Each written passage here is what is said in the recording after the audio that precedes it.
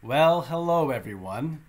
We're going to go ahead and create a static website on Amazon S3 today.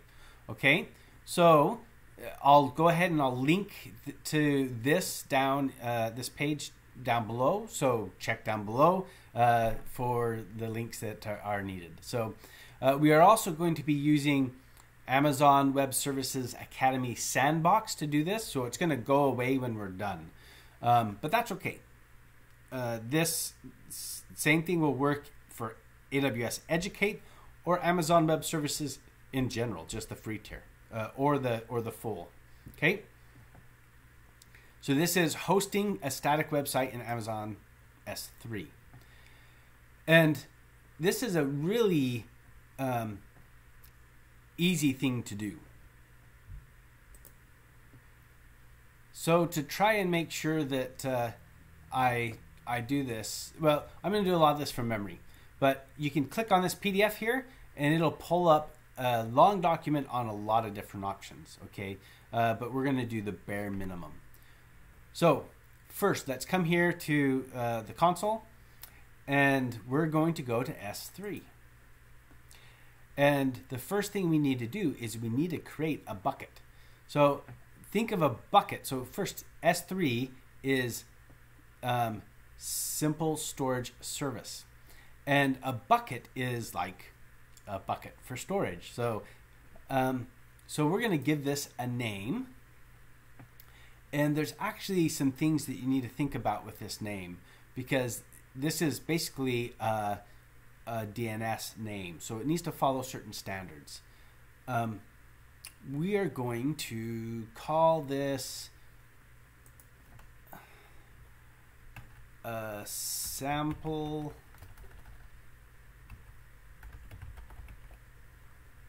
underscore website. And we'll just do, I think underscores are allowed. Can't remember, oh, or is that dashes? I think it's, is it dashes? A sample website. Let's see if we can create that. Um, a sample website. So if I was creating this for a class, I'd probably put my initials in, maybe the class. Um, so I'll just do here JS, my initials, a sample website. Um, and then we can uh, select a region.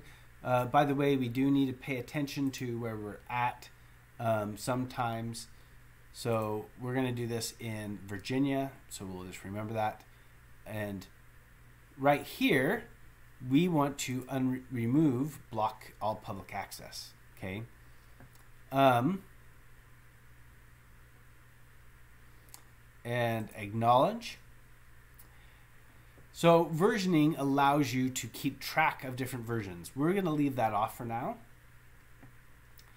And we're going to disable server-side encryption for now. Now there's some advanced settings here. Uh, and we're going to leave that disabled. We're going to go ahead and create the bucket. So this will tell us if things, so it shows that yes, it created. So now that we've created the bucket, I'm going to click on the bucket name and we are going to go to properties. Properties gives you some general information about the bucket.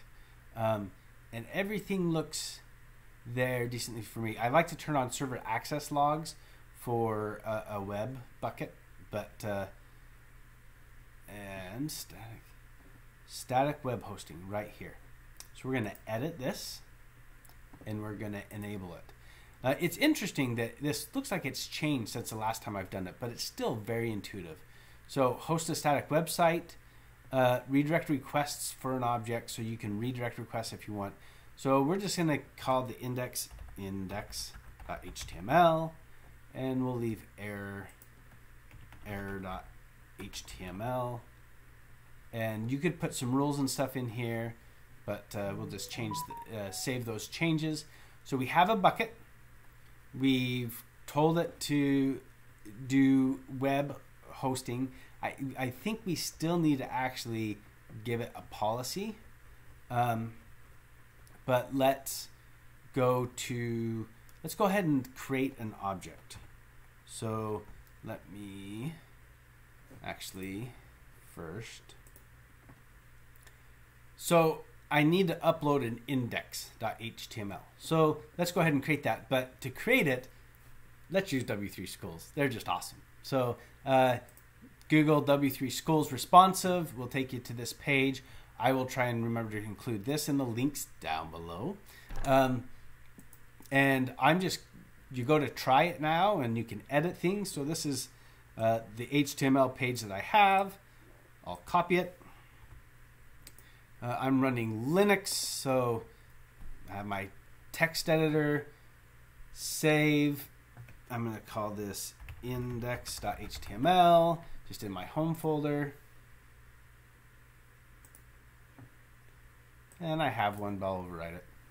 Um, so I come back here, coming to my S3 management console. By the way, I could create this file. Uh, I could upload it. I could create the bucket. I can do all that programmatically. Um, so it's good to learn how to do this manually, um, but but you should program as much as you can. Um, oh, add file. Sorry, add file, index.html, and upload. Now, I'm pretty sure that there's a couple steps I still need to do, but I want to double check. So we're going to try and see if this is publicly available. Um, so we're going to click on the object, and the object is going to have the object URL. So if I click on this object URL, it says access denied. Okay, so there's a couple things that it could be. So let's troubleshoot it together. First of all, this object itself uh, might not have public permissions yet. So let's go ahead and check and give it public permissions. So uh, object owner, read, read, write, everyone right here. So let's edit this. And let's change everyone to read, read. Yeah, I. so they're trying to make it harder for you to do stupid things, um, and I, I applaud Amazon Web Services for doing that. Too many people have have inadvertently given out information not intending to. That's all I need to do. Awesome. Okay, so I thought I needed to create a bucket policy as well, but it looks like I didn't. I, one of the things I like about W3 Schools, look at that. It changes for me. Thank you, W3 Schools. Um, so here I have my URL. So if this was a class and I was expecting an assignment, uh, I would have them turn this in. The cool thing about Canvas, you turn in the URL, it takes a picture of it. Um, so I turn it in, submit it, then I can come here and I can close this. I want to come to my console and I want to sign out, which gets rid of my session cookie. Um, yes, I know. And then I want to end the lab. Ending the lab stops the cost from uh, occurring. Now, this only happens if you are doing, you only want to do this piece if you are doing um, the AWS Academy. So if you're doing AWS Educate, there's not a lab unless you're doing a classroom. Um, it, it, and it just stays around forever. Um, well, while you're a student and you go through things. So that's really cool. Uh, this is a specific lab. It's going to go away the moment I, I end this lab.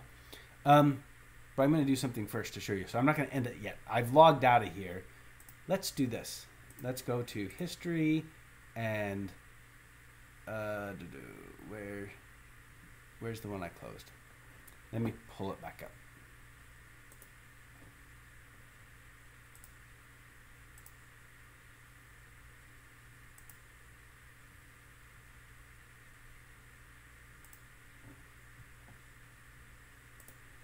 Okay, so if we go here to history, it is this one. I just because I left the title, so you can see it's still around even though I've logged out. Okay, um, So this is my JS sample website, S3 Amazon AWS.com. So it actually has a decent name. I'm, I'm surprised. It must be because of how it's running.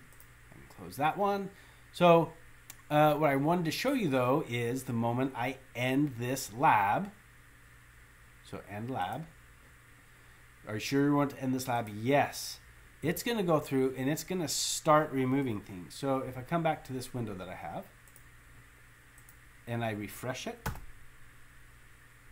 eventually it's going to go away. So you see, you know, you may close this box now, lab resources are terminating, so let's refresh it again.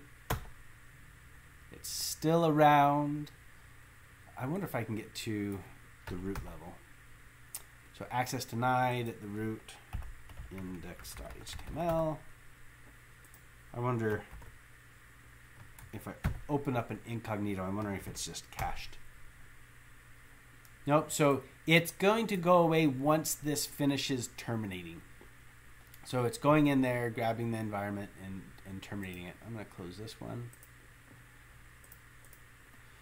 But just like in creating environment, it takes a little while to, to shut it down. Okay, so that's where I'm saying uh, if you are using AWS uh, Academy and you're using the labs, so this is only specific to AWS Academy in the labs.